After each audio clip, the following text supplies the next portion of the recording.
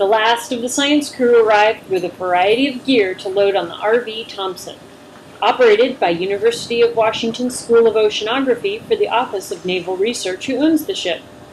The RV Thompson is 274 feet long and 52 feet wide.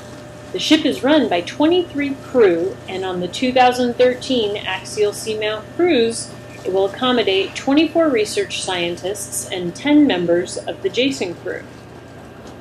The ship's crew and science crew work together to stow instruments and gear that will be used throughout the research cruise. Collaborations among geologists, chemists, engineers, and more will result in study of axial seamount, one of the most active submarine volcanoes. Also, hydrothermal vents and surrounding water. Loading the gear has taken several days, but things are finally coming to fruition to facilitate this interdisciplinary group to head west to axial seamount.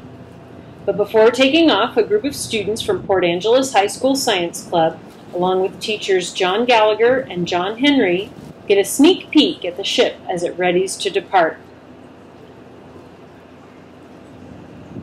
With the last dunk test of the Jason, the engineers and scientists confirm that it's ready to head to the seafloor to collect rock, water, and other samples at Axial Seamount.